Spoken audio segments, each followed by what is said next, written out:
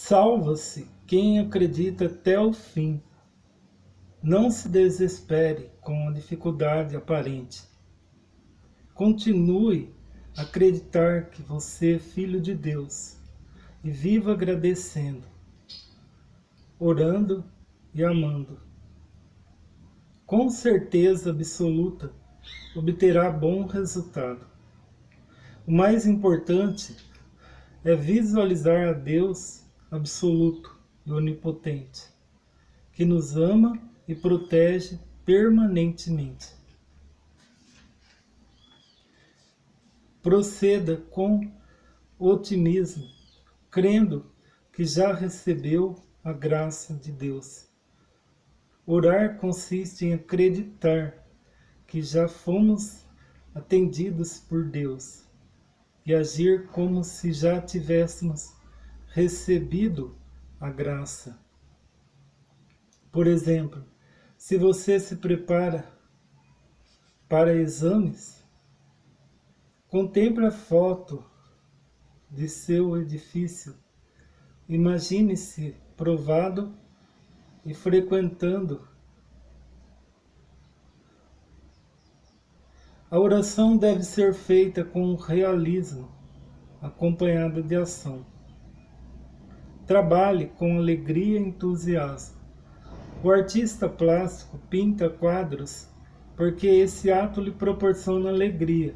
O músico toca instrumento porque sente satisfação em fazê-lo. A vida é a manifestação artística de todas as atividades. Portanto, expressamos a vida de modo criativo para sentirmos alegria. É dolorosa uma vida sem atividade. Devemos, pois, trabalhar com afinco e alegria. Não rejeite o que lhe acontece, aceite-o com alegria. Quando aceitamos docilmente aquilo que nos acontece, acrescentamos sempre algo positivo à nossa bagagem de experiência. Este é o modo de reconciliar-se com todas as coisas do universo. Se um acontecimento lhe parece prejudicial, porque você o vê apenas através de um determinado prisma. Na vida, nenhuma experiência constitui desperdício. O amor transforma o adversário em amigo. Se você mantiver na mente alguma vontade de prejudicar os outros, surgirá alguém disposto a prejudicá-lo. Se desejar evitar a hostilidade dos outros, precisa tomar iniciativa de reconciliar com todas as coisas do universo. Somente com a sua transformação, o adversário se transformará. Este é o significado da frase de Jesus: Amai os vossos inimigos. Mateus 5,44 Nunca é vão tempo de espera. Suportar pacientemente é também manifestação de força. Para conseguir esperar até a realização até o fim, torna-se indispensável algum estímulo, uma espécie de alegria, tal como ocorre no período de noivado. As pessoas esperam para conhecer a doçura com a lua de mel. Em mim existe coragem infinita.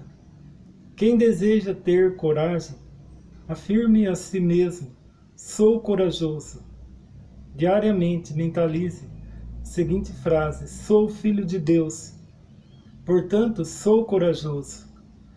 A repetição fará com que grave no subconsciente a convicção de ser realmente corajoso e um dia manifestar-se-á seu eu verdadeiro, que é corajoso.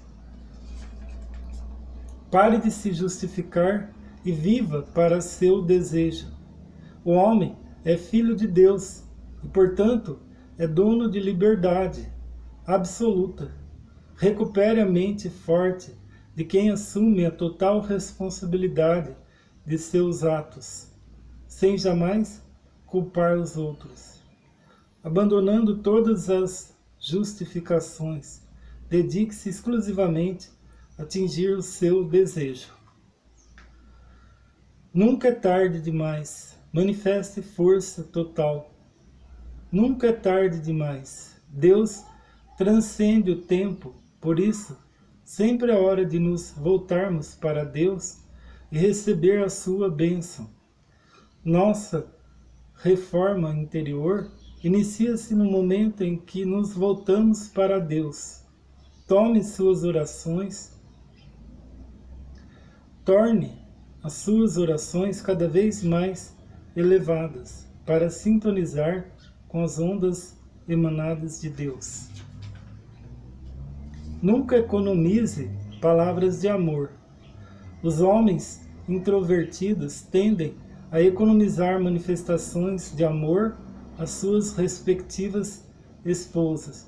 Todavia, as palavras são a origem das ações. As palavras pensadas, faladas e traduzidas em atos são sementes que produzem frutos.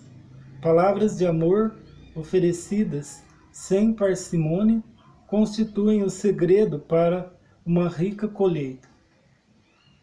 Você está nos braços de Deus em qualquer circunstância.